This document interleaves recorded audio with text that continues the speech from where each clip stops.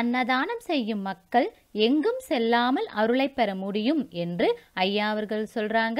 வாங்க என்ன சொல்றாங்கன்னு கேட்கலாம். அங்கு பல ஸ்தலங்கள் சென்று வருவது மன ஆறுதல் தரும் பக்தி ஒரு இறையருள் பெறுவதற்கு துணையாக இருக்கும் இதை விட அன்னதானம் செய்கிற மக்கள் எங்கும் அலைய வேண்டிய அவசியம் இல்லை. ஆக போகக்கூடாது என்று அர்த்த- அர்த்தம் இல்லை எங்கும் செல்லாமலேயே அருளை பெறலாம்.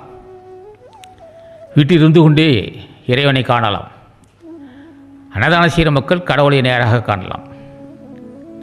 கடவுள் என்பது யார்? அவன் எங்கே எப்படி இருப்பான்? அவன் ஆறு தலையா பத்து தலையா? இல்லை கடவுள் என்பவன் நம்முள்ளே இருக்கிறான். எப்படி இருக்கிறான்னா ஜோதி வடிவாக இருக்கிறான். நம்முள் எப்போ ஜோதி வடிவாக எப்போது இல்லையா இருக்கிறான்.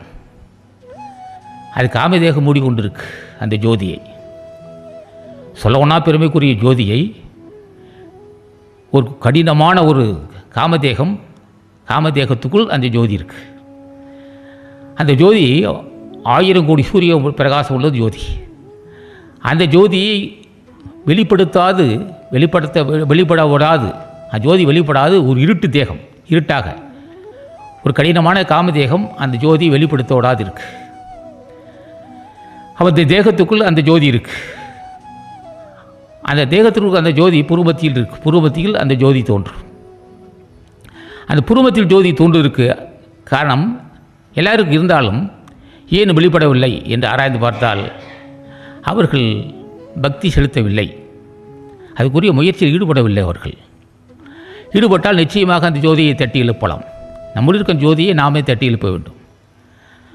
அது எழுப்பதற்கு அந்த ஜோதியை தட்டி எழுப்பி மூலாதாரத்தில் இருக்கக்கூடிய அந்த கனலை எழுப்பி அதை அந்த கனல் தான் ஜோதியாக மாறும். மூலக்கனல் தான் ஜோதியாக மாறும். இப்போ நம்மளிடம் காமக்கடல். காமக்கனல் காமத்தி கோபத்தி பசித்தி. மூன்று தெருவது முத்தின்னு சொல்லுவோம். அந்த காமத்தி பசித்தி கோபத்தியை மாற்றி மூலத்தீயை மா மூலத்தீயாக மாற்ற வேண்டும். மூல முகலாக்கினி மூலத்தீ அல்லது மூலாக்கினி மூலாக்கினியே ஜோதியாக மாறும். மூலாக்கினி எப்பொழுது தோன்றும்?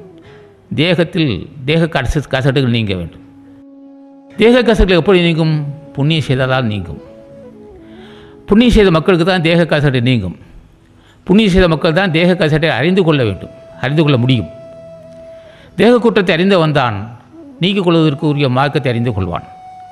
தேக குற்றத்தை அறியாதவர்கள் நிச்சயமாக கடவுள் அது அது நீக்க முடியாது.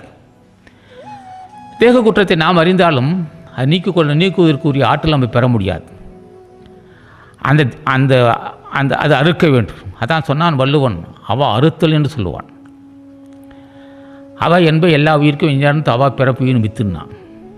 ஆசைதான் பிறவிக்கு கா பிறவி தொடர்ந்து வரும் தொடர் பிற- தொடர்ந்து வரும் பிறவிக்கு காரணம் சொல்லு. ஆசானது அருளுரைகளை தொடர்ந்து கேட்க அரங்கர் டிவிக்கு லைக் பண்ணுங்க சப்ஸ்கிரைப் பண்ணுங்க. மறக்காம பெல் பட்டனையும் கிளிக் பண்ணுங்க.